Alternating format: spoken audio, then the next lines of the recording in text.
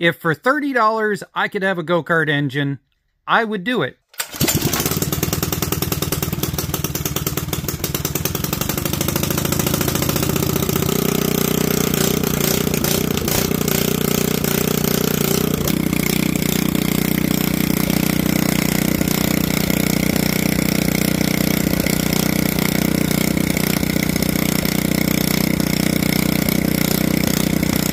Here on Redneck Computer Geek, we keep it honest. That worked awesome. This, on the other hand, after about 15 minutes of runtime, gave in. So I'm going to pull this back out. I'm going to put a washer underneath it. I'm going to see if it just was a design flaw in the plastic. But I think yeah, right there, I can actually flex the plastic. So, I don't think that's going to work, but we'll monkey with it a little bit further. Why you truly clicked on this video. Predator engines are no longer $100. In fact, a lot of them in my area are $160. And most of the sales that do drop them down into the $100 range are based on well supplies last in store only. Therefore, generator engines that have become plentiful in all the junkyards, if you could potentially convert it over to use for $30 with one of these Chinese kits that are showing up all over eBay and Amazon right now, it would be worth it. If for $30 I could have a go-kart engine, I would do it. This kit, on the other hand, does not instill a giant amount of confidence in me. Granted, for the price, it really shouldn't.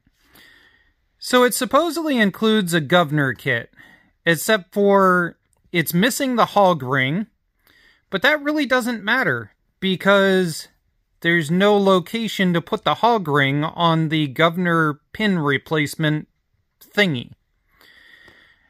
That is not in the sales flyer. This is made out of the same kind of weird gasket material as the Kohler 7000s that love to blow up their valve covers and then light themselves on fire by dripping everything on the exhaust. Well, let me just walk over here with this. I'm not usually the size matters person, but yeah, that's not right. On top of that, I don't understand why it comes with two bearings. Now granted, the bearings do look to be the correct size, but really what it should be is a bearing and a seal. This is not in the kit. This is from another standard gasket kit that I ordered up. And I do know that these kits fit these Predators, so I will include a link for buying that. I'll include a link for this in case you want to traumatize yourself with me. The other thing is we flip this over and I have cut myself and nicked myself twice just monkeying around with this. There are sand casting spots where I have chipped off little bits and stuff all over the place. Here's a PSA for you. If you magically all of a sudden gain oil that wasn't there before, you did not gain oil.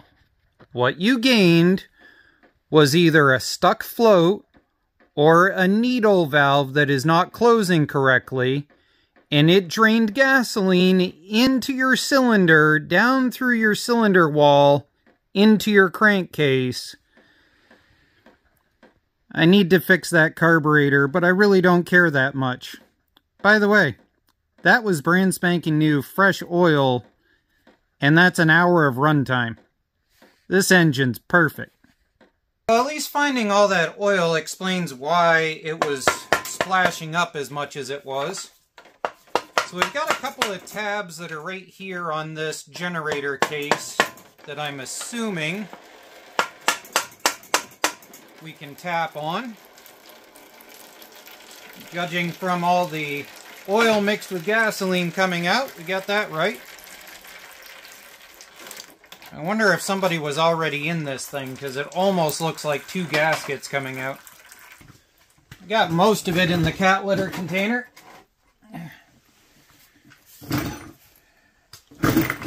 Alright, cat litter container repositioned. Let's pull this off.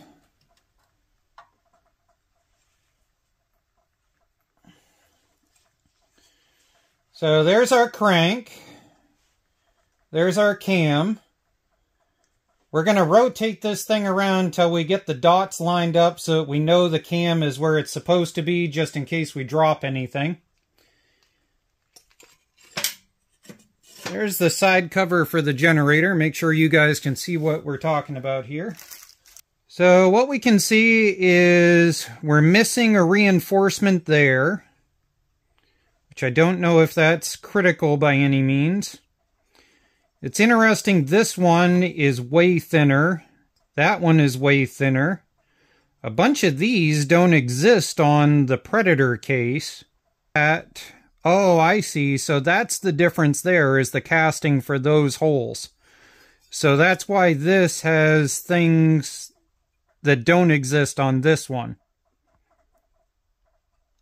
Let's see whether these actually fit.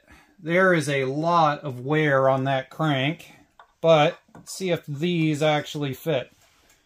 Okay, so that's a good sign if we can manage to actually get them into that case piece. Now, I'm going to do another video where I do the governor delete on this thing. We're going to do a separate video on that because I want to do a follow-up. But for now, just to make sure... Wow, that's a lot of play.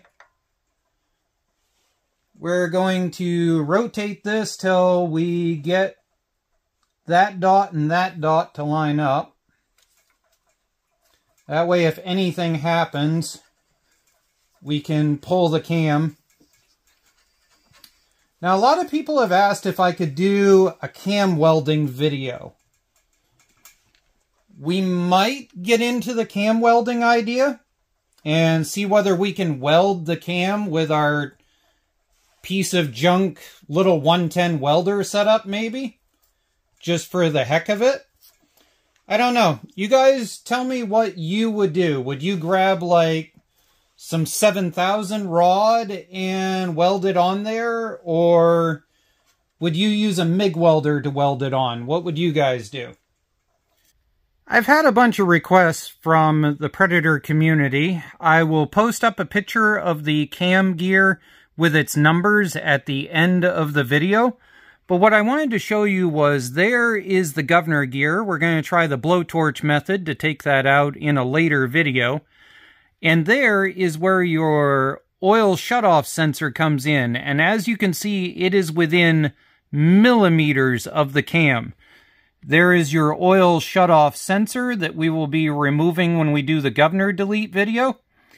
But for now, we're just going to see if the side cover will actually fit.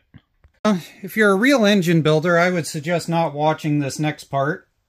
But I think what we're going to do is put some lube on there.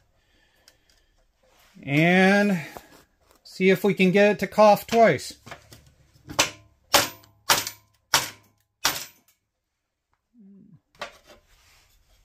There we go. We got that hammered into there, literally.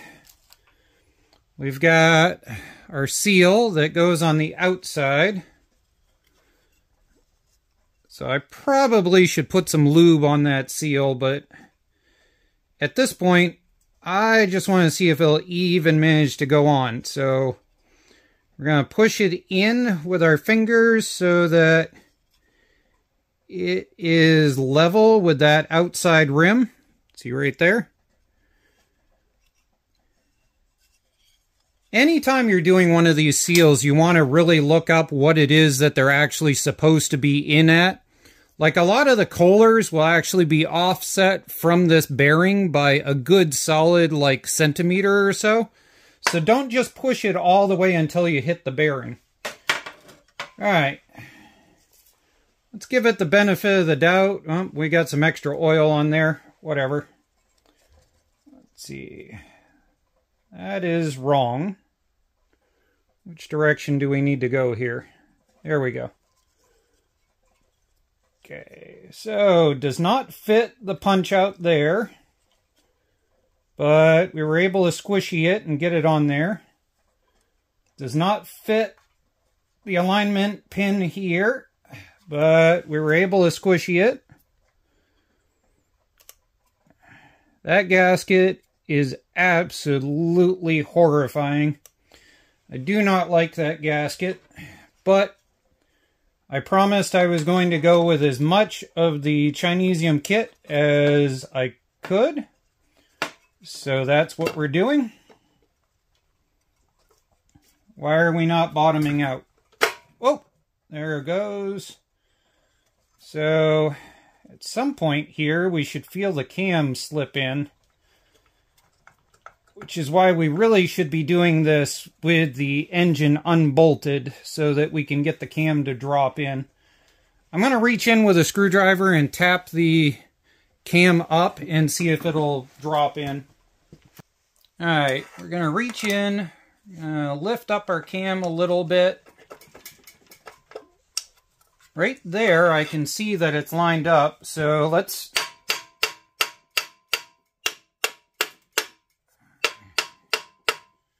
What are we not clearing here? Alright, we repositioned you guys. Let's see what we got going on here. We have 14.2 millimeter. We have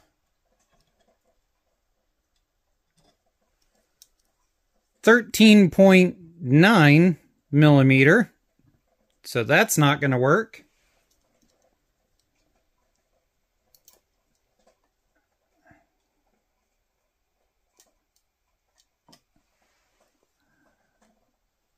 Fourteen point one five. Well, let's find some sandpaper. Some projects are just about seeing how much hair you can rip out. Went in, ground it down with that until the cam was able to fit and it came up right on the calipers. Went to put the side on and that is not very promising. I don't know what's going on right now. I'll bring you guys back in a little bit. It seems I gave myself some foreshadowing that I did not realize I had done. That one is not fitting, and that one is not fitting. They're in the right spot, but they are the wrong size. We're going to keep telling ourselves we're doing this to save money. Ignore the fact that we're already through an entire can of brake cleaner Ignore the fact that I'm three hours into this absolute stupidity. So...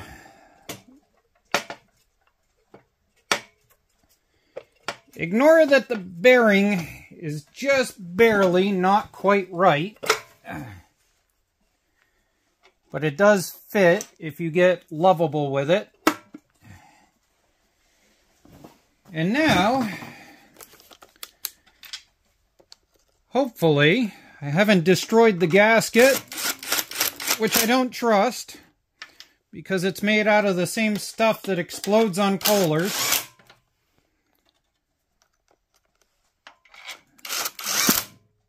But at this point, I think we might actually get a side cover on. We're doing this to save money, remember. Not that really, really are at this point, considering how much stupidity I've been through with this.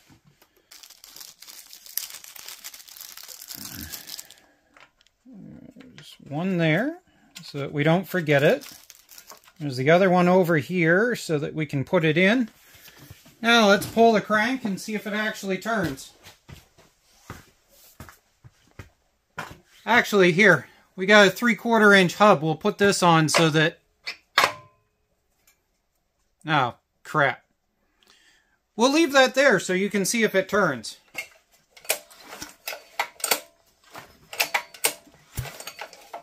There we go. We're almost there, saving money. I gotta laugh and show you this.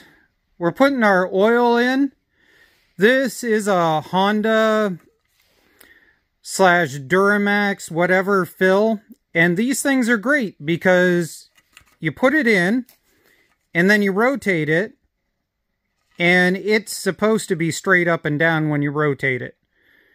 This thing is so janky that the oil fill isn't actually drilled or in the right angle. Here we go. Let's see if this goes great or explodes on us. We'll put the choke on.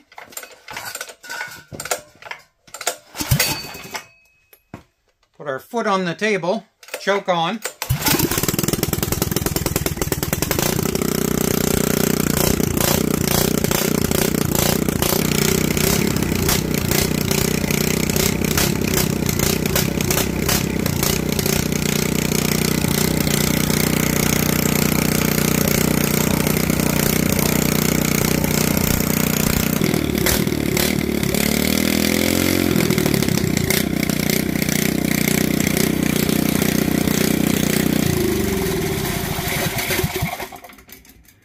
Hey, look at that. If you put the kill wire on something nice and pretty and polished, it actually works.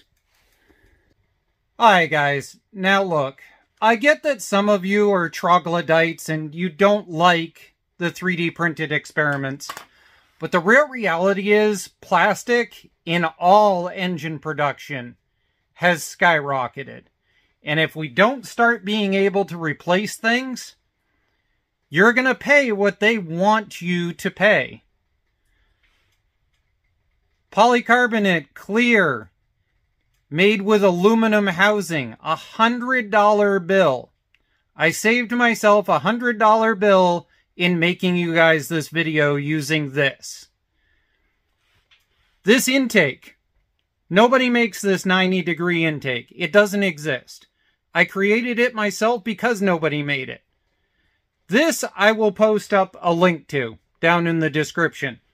This is still a work in progress, but if I get it more sorted out and I get it figured out more, I will post it up in a future video. As it is right now, we have figured out that this filter is on the wrong side. Now I understand why it is the hole for the PCV valve is on the other side on the stock one. I did it on that side to avoid dealing with the spark plug wire. It was a screw up on my part. But that's why you guys watch this channel, is because I show you both what works and what I failed with, because we keep it real on this channel. Alright, on the next step with this, we're going to be working with cutting down the shaft so that we can get the three-quarter on, just to show the fact that it's doable. We'll probably put a go-kart clutch on it, even though that's not what's going to be on it in the final project. But just for the giggles of it, we'll put a go-kart clutch onto it. Thank you, everybody. We'll be flipping it on its side soon.